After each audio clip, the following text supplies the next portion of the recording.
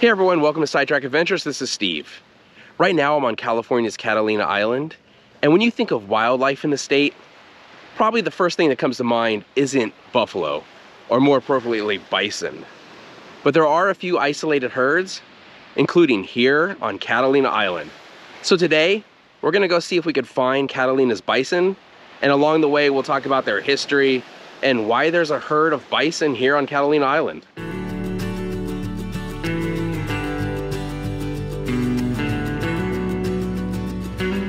Before we get started, for anyone who doesn't know, Catalina is an island in California off the coast of Long Beach.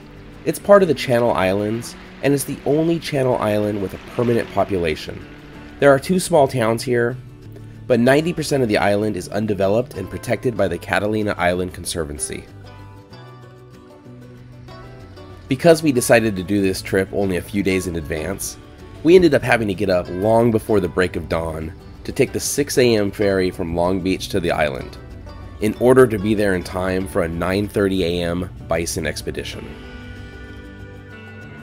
We are in the ferry terminal and just ran into this bison.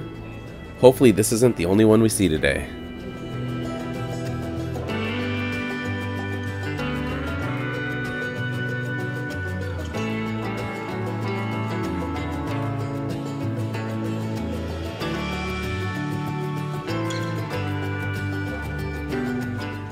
This is our ride into Catalina's backcountry today. We booked the Bison Expedition tour through Catalina Island Company. There were a number of tours available through different companies, but we chose this one because it was actually called Bison Expedition. It cost about $100 per person, and I'll let you know later if it was worth it. On the tour, we're going to cross the island and head to Catalina's windward side, and hopefully, a herd of bison will greet us along the way. In order to drive out into Catalina's backcountry, you do have to drive out there with somebody who's permitted to do so. You can't drive out on your own. This is actually my first time on the island, so I'm pretty excited to see it. We're just leaving town and we're already getting some great views. Here's a look back at the town of Avalon. While vast herds of bison once roamed throughout the United States, historically they weren't found in California. So why are they found on this island 22 miles off the coast?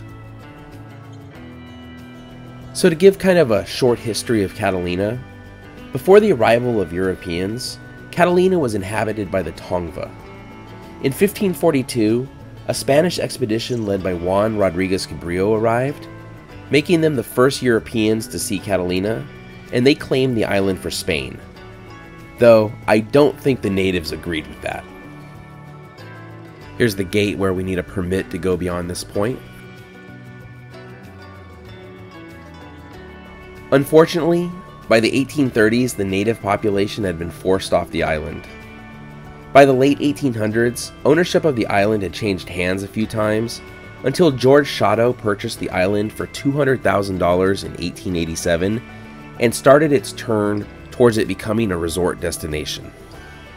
So George Shatto defaulted on his loan after a few years, and the Banning brothers purchased the island in 1891, and they added a lot of resort amenities, including building the road we're traveling on now, which was originally built for stagecoaches. Then in 1919, the Banning sold the island with William Wrigley Jr., the guy from the chewing gum and the owner of the Chicago Cubs, having controlling interest. And that brings us to 1924 and the introduction of the bison. This definitely looks like some prime bison habitat. In 1924, a motion picture company asked to bring bison here for a movie, though what the actual movie was is open for debate. A lot of sources claim that the bison were for the film The Vanishing American, but none of the scenes in the film contain bison or appear to be filmed on Catalina. Others claim it was for a film called The Thundering Herd, but nothing in that film appears to have been filmed on Catalina either. Whatever the film, 14 bison were brought to Catalina and promptly escaped captivity. They were allowed to stay, and the bison did what bison do, and by the 1970s, there were around 600 bison on the island. As the bison aren't native to the island, there was talk of removing them but due to public outcry, they were allowed to stay, though the size of the population was reduced to 150, with the rest being moved to the Great Plains area. They've tried to keep the population around 150 ever since, but due to a birth control initiative, the population is currently at about 130. But that's why bison have roamed this island for the last century. Now, if they'd only roam into our view.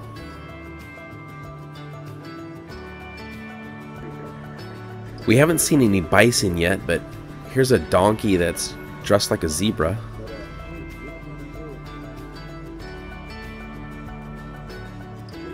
You know the bison tour is going great when the most exciting animal we've seen so far is this woodpecker. There's an old barn out there. This part of the island is called Middle Ranch, and there are actually some people that live out here, mostly employees of the Catalina Island Company.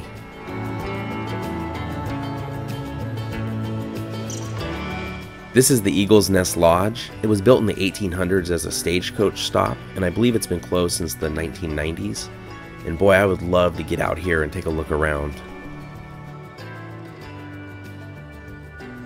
No bison yet, but we've just come across this Catalina Island fox, which is a subspecies of the island fox, and this can only be found here on Catalina Island.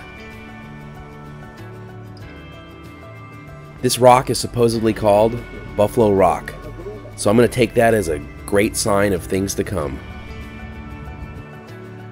We haven't seen any bison yet, but the views have been absolutely incredible the entire time so far. Because of all the recent rain in Southern California, the island is really green right now. It reminds me a lot of Hawaii or even Jurassic Park.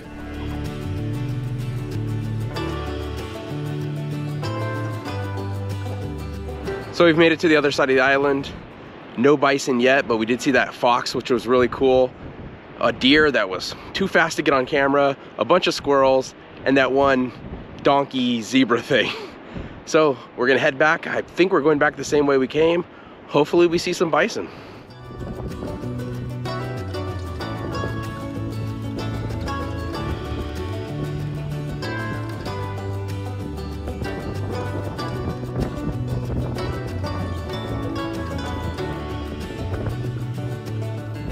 This is an old US Army Signal Corps radar installation from World War II.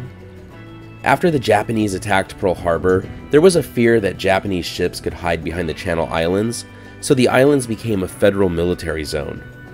Quite a few troops were stationed here, and the OSS, which was the precursor to the CIA, even did training on Catalina Island.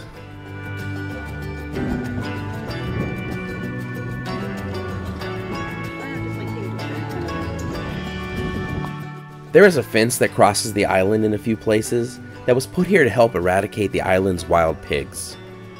Like the bison, pigs weren't native to the island, but they were pretty destructive to native plants and animals, so they had to go. And honestly, it probably didn't help them that they weren't the tourist attraction that the bison were either. The fences were put up as the pigs were eliminated from a section of the island, with the last pig dying in the early 2000s.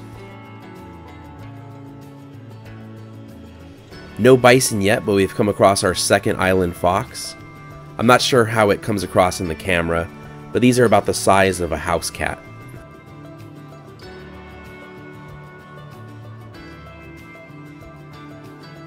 Well, I'm starting to see civilization again as we head back down towards Avalon, so I'm thinking the chances are pretty slim that we're going to see a bison today on the bison expedition.